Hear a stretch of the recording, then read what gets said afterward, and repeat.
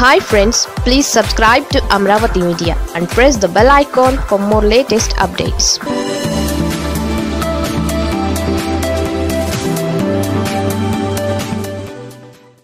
ఫిబ్రవరి ఏడు నుంచి నిరవధిక సమ్మె నిలిచిపోనున్న సేవలు ఇవే.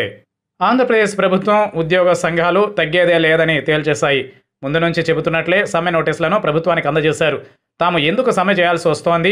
సమ్మె విరమించుకోవాలంటే తమ డిమాండ్లు ఏంటి? వివరిస్తూ మూడు పేజీలతో కూడిన నోటీసులు ప్రభుత్వానికి అందజేశారు. మొత్తం పన్నెండు ఉద్యోగ సంఘాల నేతలు తమ సంతకాలు చేసి ఆ నోటీసు అందజేశారు. అయితే సీఎస్ సమీర్ శర్మ అందుబాటులో లేకపోవడంతో జీఏడీ కార్యదర్శి శశిభూషణ్కు తమ నోటీసులు అందించారు.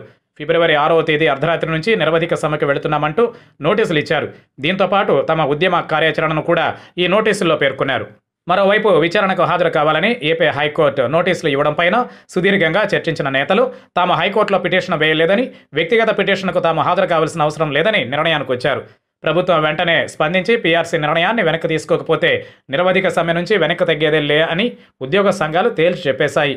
అంతకుముందు ఉద్యోగ సంఘాలతో చర్చల కోసం ప్రభుత్వ కమిటీ చాలాసేపు ఎదురు చూసింది ఉద్యోగుల ప్రతినిధులు వస్తే తమ వైపు నుంచి చర్చలు జరిపేందుకు సిద్ధంగా ఉన్నామని సంప్రదింపుల కమిటీ సభ్యులు సజ్జల రామకృష్ణారెడ్డి బొత్స సత్యనారాయణ తెలిపారు.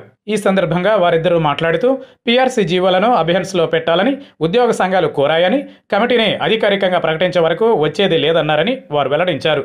అయితే తాము మళ్ళీ వారితో చర్చల కోసం వస్తామని మంత్రులు పేర్కొన్నారు. అయినా జీఏడీ సెక్రటరీ ఫోన్ చేసి చెప్పిన తరువాత అధికారిక కమిటీ కాదని ఎలా చెబుతారని బొత్స సజ్జల ప్రశ్నించారు. ఉద్యోగస్తులు కూడా మా ప్రభుత్వంలో భాగమేనని వారన్నారు. ప్రభుత్వం ఉద్యోగుల విషయంలో ఏం చేసిందో ప్రజలకు వివరించడం తప్పెలా అవుతుందన్నారు. సమ్మె నోటీస్ ఇచ్చిన ఉద్యోగ సంఘాలతో చర్చిస్తామని బొత్స సజ్జల తెలిపారు. ఈ కమిటీ ఉద్యోగులను బుజ్జగించడంతో పాటు నిజమైన సమస్యలుంటే పరిష్కారానికి కృషి చేస్తుందని వారన్నారు. ట్రెజరీ ఉద్యోగుల మెడ మీద కత్తి పెట్టడం వల్ల నోటీస్ పీరియడ్కు అర్థం ఉండదని వారు వ్యాఖ్యానించారు. అలా చేస్తే ఉద్యోగులను ప్రభుత్వం క్రమశిక్షణలో పెట్టే ప్రక్రియను ప్రారంభించాల్సి ఉంటుందని మంత్రులు హెచ్చరించారు. ప్రభుత్వం ఉద్యోగుల సమ్మె ఎఫెక్ట్ సామాన్య జనంపైన పడనుంది. ఇప్పటికే అన్ని రకాల ఉద్యోగస్తులు సమ్మెలో భాగం అవుతుండటంతో అన్ని కార్యాలయాల్లో సేవలు ఎక్కడికెక్కడ నిలిచిపోనున్నాయి.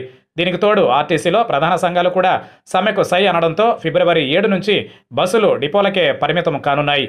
ఇటు వైద్య శాఖలో ఉద్యోగులు కూడా సమ్మెకు సై అంటున్నట్లు సమాచారం. అదే జరిగితే కరోనా సమయంలో తీవ్ర ఇబ్బందులు తప్పకపోవచ్చు.